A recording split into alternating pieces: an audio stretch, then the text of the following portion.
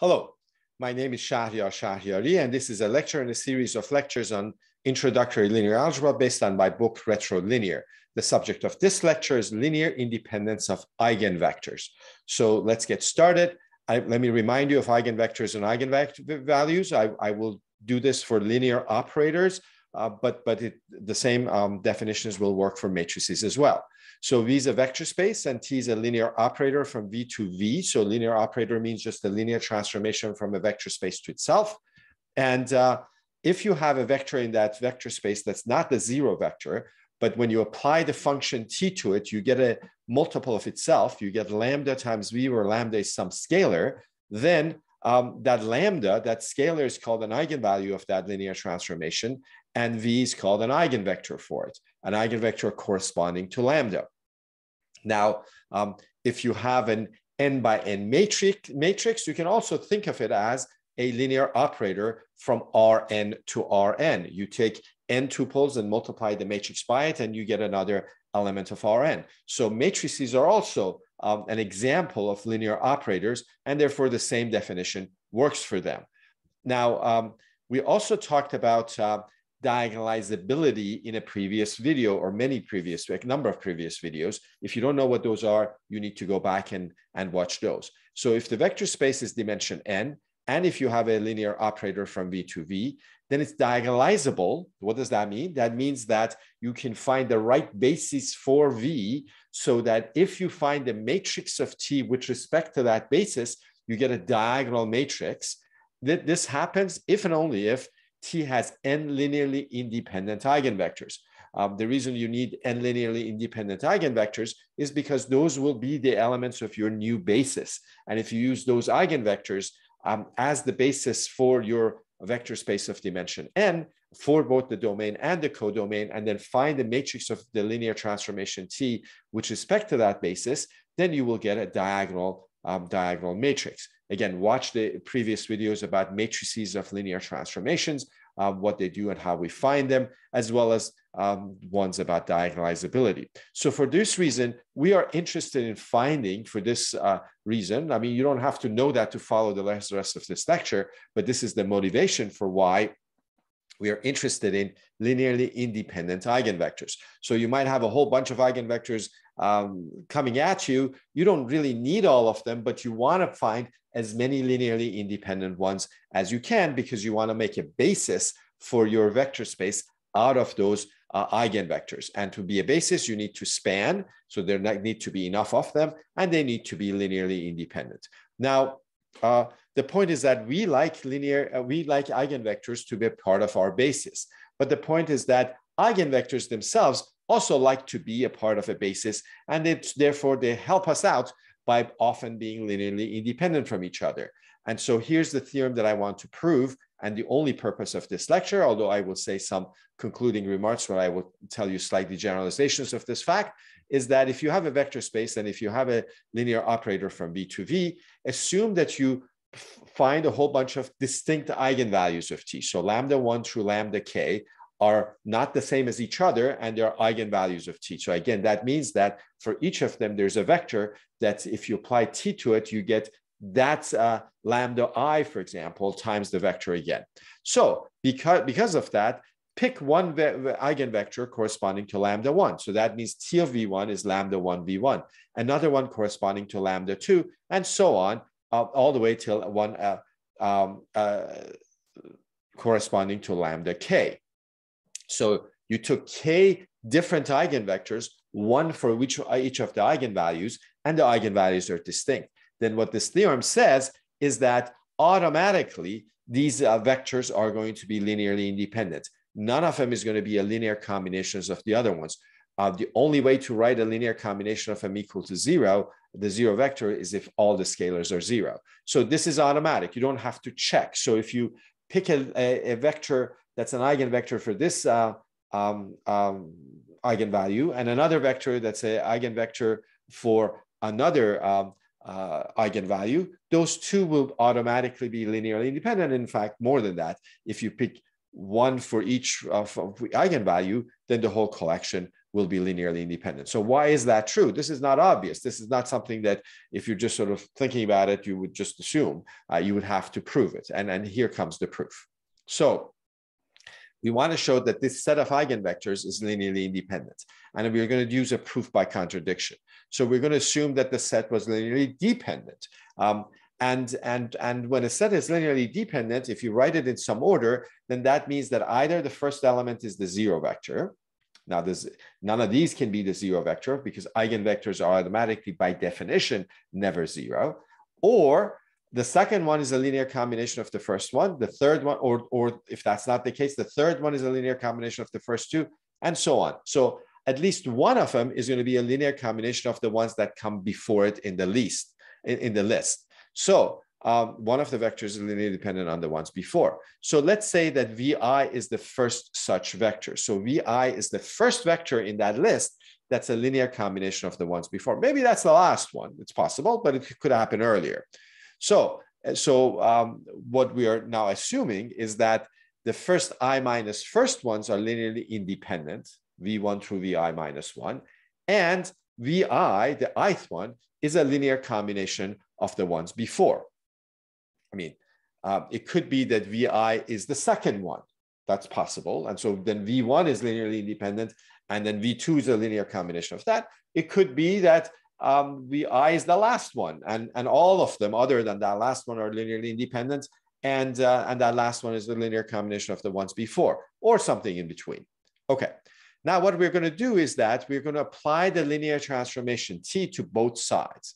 Um, VI equals this linear combination. So if I find T of VI, it's going to be the same as T of that guy. So T of VI is the same as T of alpha 1 V1 plus alpha 2 V2 plus alpha I minus 1 VI minus 1.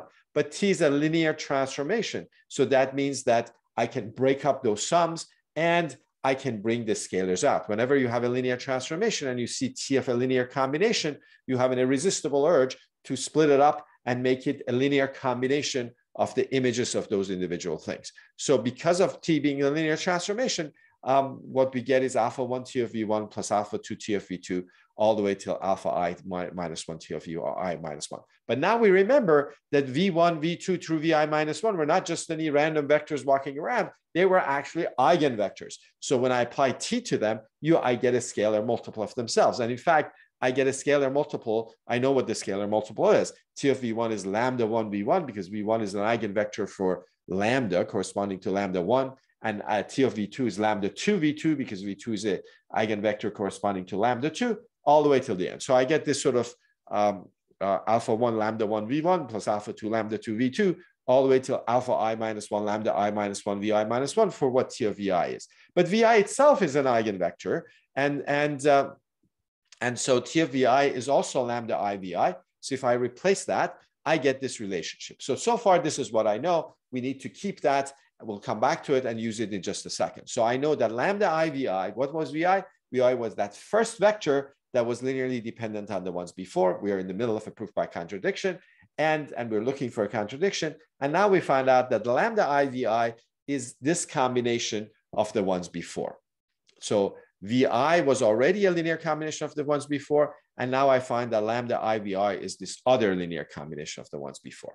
Okay, so what, what with that? So, so, so far, that's what I have. I have that written up on the top. Here, what we have. But I'm gonna find lambda IVI separately. So VI was alpha 1 V1, alpha 2 V2, plus alpha i minus 1 vi minus 1 i can actually multiply by lambda i um, lambda i both sides and i will get a new relationship for lambda IVI. So lambda IVI is also uh, this other relationship. It's alpha 1 lambda IV1 plus alpha 2 lambda IV2 all the way till alpha I minus 1 lambda IVI minus 1. Now, um, I have, and I have that other one that I had from the previous slide, that lambda IVI is alpha 1 lambda 1 V1 plus alpha 2 lambda 2 V2 all the way till alpha I minus 1 lambda I minus 1 VI minus 1. And I'm going to subtract the two of them. If I subtract the two of them, on the left-hand side, I'll get the zero of the vector space because I'm subtracting lambda IVI from itself. On the right-hand side, I can collect terms and I will get alpha 1 times lambda i minus lambda 1, v1 plus alpha 2 times lambda i minus lambda 2 times v2 all the way till alpha i minus 1, lambda i minus lambda i minus 1, vi minus 1. But remember that the first i minus first uh, vectors were supposed to be linearly independent. Why? Because vi was supposed to be the first one that was linearly dependent on the ones before. So these guys are linearly independent, yet I wrote some linear combination of, of um, equal to zero. How could that be? How could you write a linear combination of elements that are um, linearly independent equal to zero? Well, you can, uh, uh, as long as you cheat and you only use scalars that are zero. So it must be that all those scalars are zero.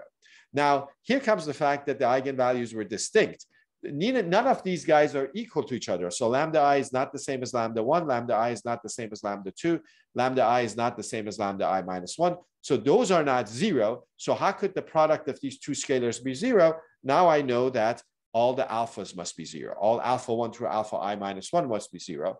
But then that means that vi is zero because vi was this um, linear combination um, of um, of alphas, but, but the zero vector is not an eigenvector, and this is a contradiction, and now the theorem is proved.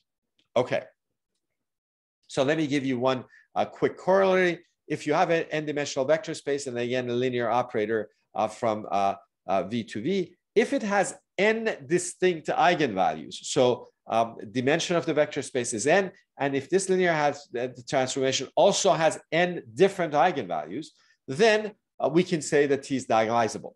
Why is that? Well, because each one of those eigenvalues will have at least some non-zero eigenvector. I mean, some eigenvector, which automatically will be non-zero. And that collection, we just proved is linearly independent. So we will have our n linearly independent eigenvectors. And therefore, the matrix will be, uh, the, the linear transformation will be diagonalizable, as will be the matrix of this linear transformation with respect to any basis. Um, and, and likewise, we can say the same thing about matrices. So um, if, if a matrix has n distinct eigenvalues, then it's diagonalizable. Um, okay. Um, I, I, can actually say that this the theorem that I proved is actually you can make it more stronger. There's an actually stronger theorem that I want to tell you about. To tell you that about, I have to remind you of eigenspaces, which was the subject of a previous video. I urge you to watch that if you know what don't know what an eigenspace is. So if it's a vector space, again, we have a linear operator. That's our setup all along. Um, if you have a scalar lambda, regardless of whether or not it's eigenvalue or not, you can define this set V sub lambda, which is all the extra, uh, vectors x in V with T of x equals lambda x. Now, if lambda is an eigenvalue, then there will be plenty of elements in this V of lambda. If that lambda is not an eigenvalue, the only element in here will be x equals zero, which is not an eigenvector, but always will be in V lambda. Uh, and this guy V lambda is called the eigenspace of T belonging to lambda. And, and so what we showed in, the, in that previous video or talked through it was that the eigenspace is a, is a subspace of V. It's all the eigenvectors for lambda together with zero. We throw in zero, which is not an eigenvector, into this set, and then that, that becomes a subspace, and therefore it has dimension and so forth. And um, non-zero elements of V lambda are exactly the eigenvectors of T corresponding to lambda. And if V lambda is some anything other than the zero vector, then lambda is an eigenvalue for T. And V lambda is actually the null space, the kernel, null space and kernel are um, interchangeable words, are null, null space of this linear transformation, lambda times identity minus t. So, um, so, so, so, it's, it's, so it's that null space. So what? Well, instead of the uh, theorem that I actually proved, there's this more stronger theorem that, that can be proved. And actually the proof is very similar to the one I proved. It's just that you have to carry around a lot more notation uh, the proof is in the book, but I'm not going to go through the proof here. It's, it's just tedious, a little bit more tedious uh, than the previous one, but the idea is the same. So V is a vector space, and you have a linear operator. Prior to in the previous theorem, we put one um, uh, eigenvector for each eigenvalue. But now he, what we do is we say, okay, let's pick our uh, distinct eigenvalues like before. Before we picked one eigenvector for each of these, but this time I picked a basis of eigenvector, a basis for V lambda one. So B1 is a basis for V lambda 1 for that eigenspace. So B1 consists of linearly independent eigenvectors for lambda 1. B2 consists of linearly independent eigenvectors for lambda 2, and all the way till Bk consisting of linearly independent eigenvectors for lambda k. And then the, the union of this still will be linearly independent set. So the point is that you don't have to pick one eigenvector for this uh, eigenvalue, one eigenvector for this other one, one eigenvector for this other one you can pick as many as you possibly can, linearly independent eigenvectors for each of those eigenvalues, And then that collection will um, still be linearly independent. And that's a very powerful theorem. Uh, one final thing that I will say is that um, if you're familiar with uh, uh, sums of subspaces, I had a video about that, um, then you can reformulate or rethink of this or uh, look at the same result through a different lens. So V is a vector space. And again, you have a linear operator. You must be tired of that by now. Um, and if you have distinct eigenvalues, then what you can do is you can find these subspaces v lambda 1, v lambda 2, v lambda k, these eigenspaces, and you find, can find their sum. Uh, their sum means that you take, it's all the elements in the vector space V where are of the form something in V lambda 1 plus something in V lambda 2 all the way till plus something in V lambda k. That includes all of the eigenspaces because, for example, you could take an element of V lambda 1 and then pick zero for all the other ones. And therefore, you, every element of V lambda 1 is in W, but it's more than that. It's all the sums of elements of V lambda, V lambda 1 and V lambda 2 and so forth. So it's it's uh, the basis for, uh, so a basis for W or a spanning set for W would be the union of those bases. Now, what the fact is that this is actually a direct sum, which what it means is that each one of these V lambda ones, its intersection with the sum of all the other ones is also the zero vector. Um, and, and, and, and, and so uh, these, um, so, so for example, the dimension of W is the sum of their dimensions. And, and so, and because of that, T is diagonalizable if and only if W is V. That's sometimes the case, sometimes not. But the point is that these eigenspaces do not intersect at all. Um, and that comes from the fact that uh, the, the, the, their bases are linearly independent from each other. And so if you want a basis for W, you just find the union of the basis uh, of, of each of these. And uh, the dimension of W is just the sum of the dimension of these guys. Um, I said that a little bit too, too quickly. I didn't go through the details here. This is just in case you know about the sums and direct sums and so forth, and know that uh, uh, we can talk about eigenspaces in that language. That's the end of this lecture. I will see you in the next one.